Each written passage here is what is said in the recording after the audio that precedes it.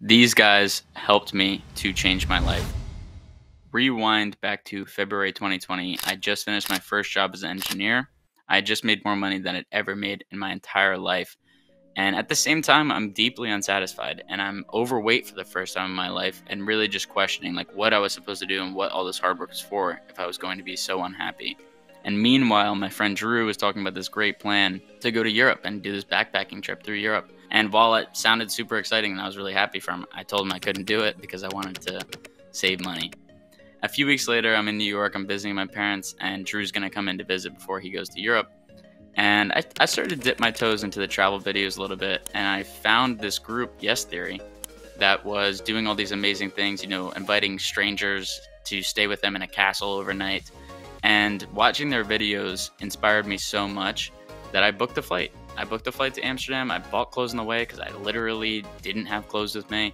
And that whole experience changed my entire life. And then now, two and a half years later, I'm in Cyprus. I've been traveling the world. I built a successful marketing company. And I see that they have this premiere of Iceman in Paris, their, their new film. So I changed my trip. I booked my flight to Paris.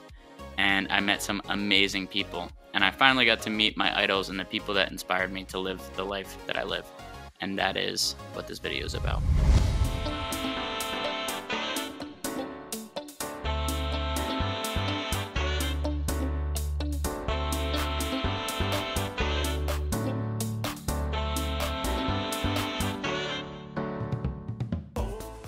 So starting off this, we went to the generator hostel. I arrived and I ended up meeting up with some uh, people from England, and we uh, we went out. So I don't stay in hostels so much anymore, but I wanted to meet people here, so we went out to this place. It was actually Les Dupleix, or I'm not sure if I'm saying that right, but uh, it was pretty fun. And then you know got to see the Arc de Triomphe, the Triomphe at night and uh, yeah, had a pretty eventful first night.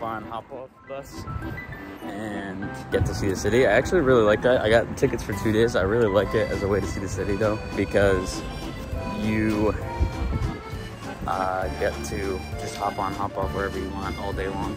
As you can see, it's a beautiful day today, uh, but you can hop off at one spot, get back on, like you don't have to worry about the metro, you don't have to worry about, we're getting run over by cars. I'm walking to the first spot because I had a late night last night, and can't really work out. So what I'm doing instead is taking a nice, it's about two miles away.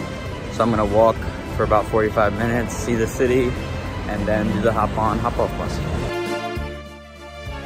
So one of the things that's very apparent as I spend time walking around Paris is that the city is really, first of all, very walkable and extremely beautiful. And I was actually very it was a very nice day to just go around the hop on, hop off by myself, check out the city, and get a little feeling for you know what Paris is all about. Um, also, coming up here, there was actually a protest being sta- uh, going on for Iran because this was taking place in um, October. So that was a very interesting sight to see also. So just stopped at this other place. I was thinking about going to the place that looked nice down there, but like I feel it. So getting uh, a glass of wine.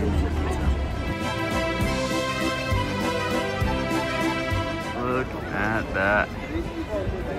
Made it the Eiffel Tower. Right there. There's actually an apartment, a secret apartment. I'm gonna take the metro from here.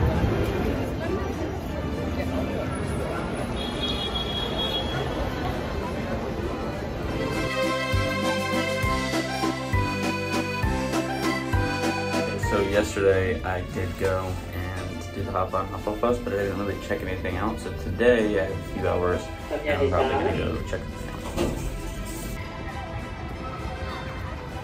The school here it looks like. Just getting the day started. So since I don't really have any workout clothes and I want to work out because I put on a few pounds in the past few months traveling, I'm going to walk 40 minutes or three kilometers to where we need to go. And then I'm going to get a coffee and a croissant.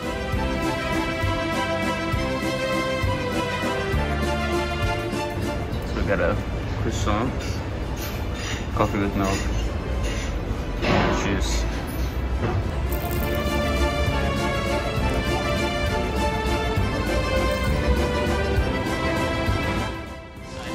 I, make sure I don't gloss over this here, but the the waitress, um, I asked her about the coffee, like what type of coffee she had, and she was like with milk and without milk.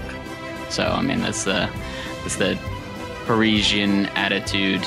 Um, it made me laugh though. And then later I just went to walk around and, and have pizza with friends. So I just worked for like three or four hours, and now it's 2 p.m. and I'm gonna head over to her place um, because I get uh, there's like eight people staying there for the next couple nights and going to the premiere tomorrow. So uh, I'm gonna head over there. I'm gonna get something to eat on the way. Probably just a sandwich. I think what I understand is that there's a lot of fine dining, and then there's like sandwiches and croissants and coffee and stuff like that. But yeah, I'm just gonna grab a sandwich and uh, some coffee up and. So here, I'm not sure if I gave a, a whole lot of um, context for this, but I, I've talked to these people on Facebook, and this girl was like, "Oh yeah, I'm having people over my place." So I went, stayed, we made dinner together. Obviously, you can see we're in the, we're in the kitchen uh, cooking it up my friend from Portugal, and we had a bunch of different countries all just hanging out. Yeah, look who made that. Who did that? Who did that? Yeah, who was the sous chef though? Who was the sous chef? Yeah, exactly. But yeah, just a really nice time, all all having fun, talking, sharing with each other, meeting all people who are, are you know just unique, all unique souls. Was very a very nice time.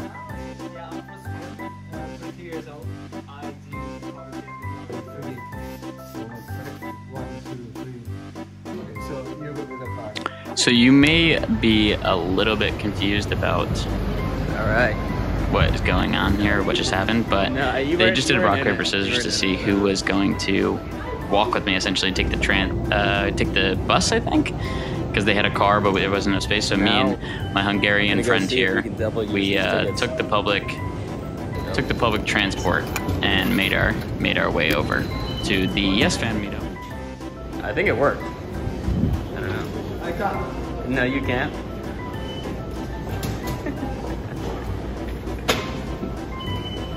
that was good. Yeah.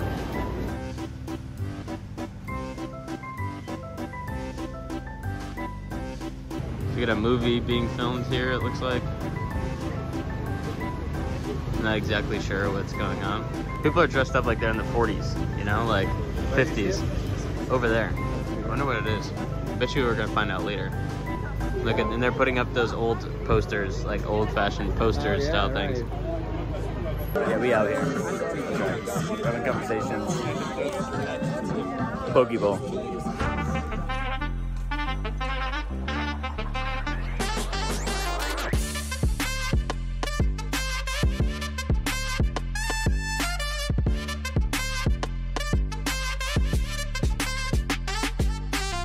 We got the police now on us. Having, Yeah, go on. having too much fun. Police are now on to us. Could you not smile like that? Now you're asking me to mask my emotions because of how it makes you feel? That I will not do. Seriously. Stop humming! We got out at the red stop. Get everybody back there. Yeah, yeah. Do you feel special? I do feel special. Yeah, that's good. I know. Yeah, that's the interesting club. No, I don't know what's going on. I'm going through the same experience as you, so yeah. What are we doing here? What are we doing? What's going on? What's going on? So far, it's been pretty awesome. Yeah. Can everybody hear me?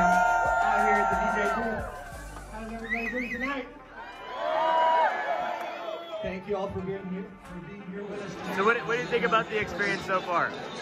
Well, it's a blast. Yeah, I feel amazing. yeah. It's a Maybe blast. the, the best night this year. Best night this year so far, yeah. Yeah, yeah. What, what do you think? Yeah. Amazing. Yeah. It's all about the people.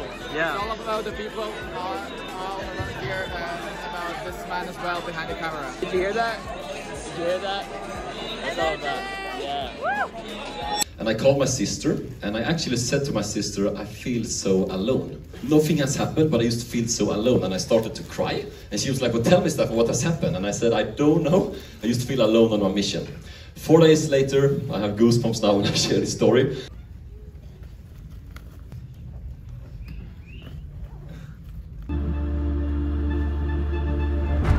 It's the weather shift that can have dramatic consequences. I've never been so broken in my life, both physically and mentally. You guys need to know how I get warm and how I keep on going because I'm not gonna stop this.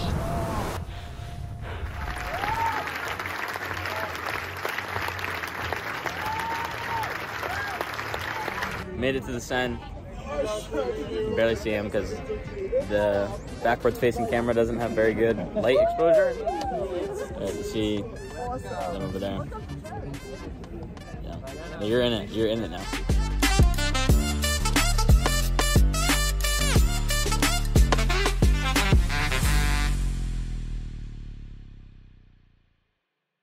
So as you can see, I got my new merch here. Project Iceman. Um, but I am getting an Uber to the airport so I can go to Madrid. But the only thing is, I don't know why this always happens to me, but my carry-on strap broke. So that's how I'm starting off today. Carry-on strap broke. So I'm just going to the airport now. Reflecting on this experience, I mean, it was truly amazing to just meet up with a bunch of strangers, go stay in a stranger's place. Like, it just really, uh, like, you know, meeting everybody that I met, meeting, you know, Ammar and Thomas and the, the entire Yes Theory team, and then, you know, Anders and all that stuff. It was really, really an incredible experience.